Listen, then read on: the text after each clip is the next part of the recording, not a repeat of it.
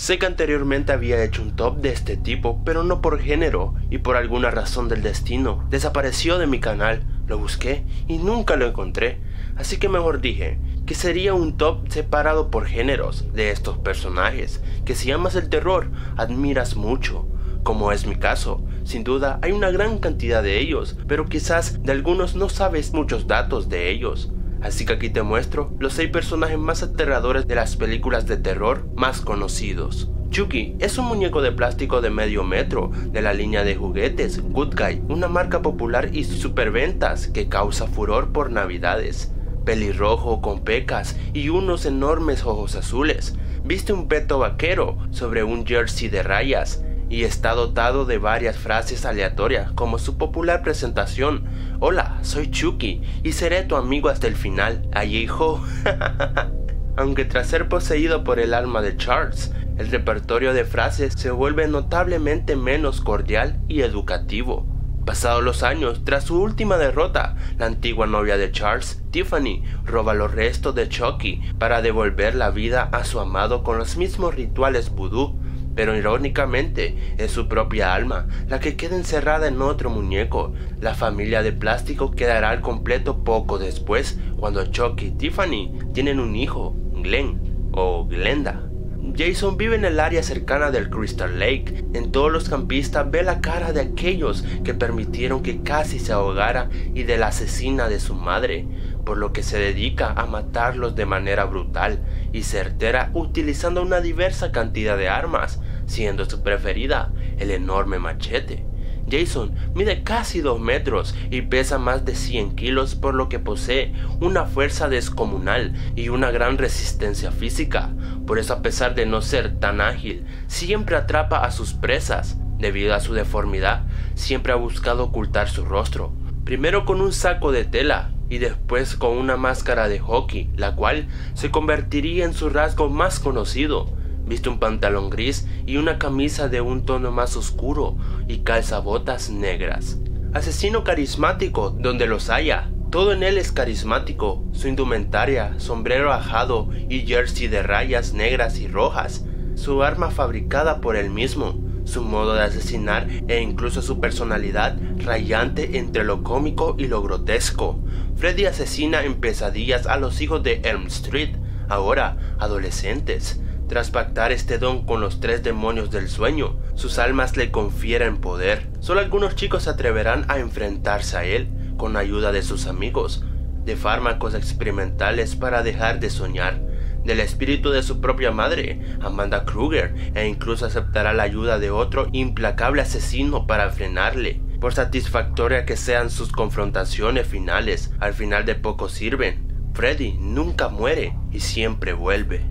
También llamado The Shape, la forma, Michael Myers es un ser humano, pero esencialmente maligno e indestructible, que encierra en su interior un espíritu malvado equiparable al del mismísimo diablo, quien no necesita pretextos ni justificación para ser maligno. La implicación de un culto celta, en el caso de Mayer, arroja nueva luz sobre posibles explicaciones de su fuerza sobrenatural e incluso de su increíble don de sobrevivencia, así como de sus motivaciones. Mayer posee una runa de mal grabada en su brazo. Se hacen varias conjeturas sobre qué es la maldición de Thorn, lo que lo mueve a asesinar a todo su linaje hasta no quedar ni uno. Consecuencias de rituales paganos que los druidas realizaban antaño en las noches de todos los santos.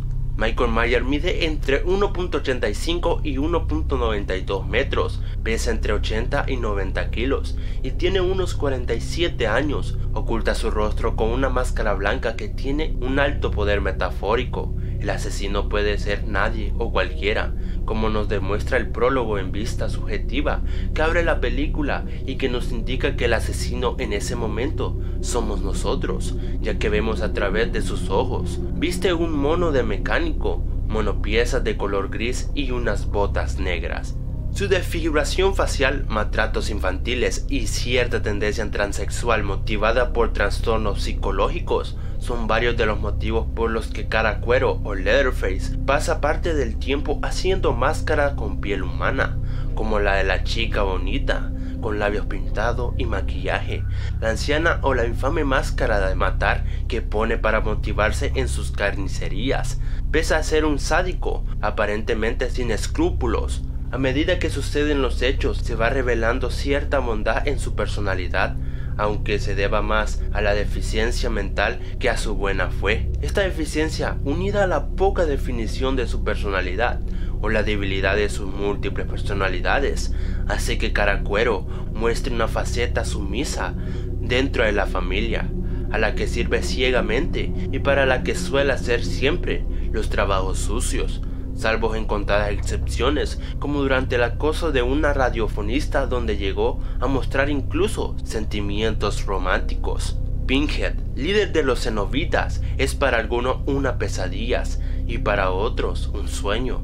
Aunque al principio era un fiel servidor de Leviatán, dios del infierno, tras sus últimas experiencias en nuestro mundo, despertaron en él otro tipo de ambiciones, se fue impregnando de la personalidad humana, sobre todo tras las fatales revelaciones que tuvo en su último altercado con Christie, quien le recordó un pasado humano que ya había olvidado, la codicia, el ego, la ira, la avaricia.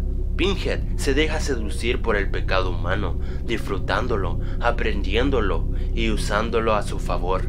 Su aspecto físico es impecable e impresionante, su mayor característica y motivo de su sobrenombre es la intricada red de cicatrices que corre su cabeza, con alfileres atravesando cada una de las intersecciones tan profundamente que llegan a atravesarle el cráneo. Su vestimenta es una sótana monopieza de cuero negro, unida a su pálida piel lacerada, mediante complejos mecánicos de tortura, ganchos y cadenas, haciendo referencia al santo oficio que obra.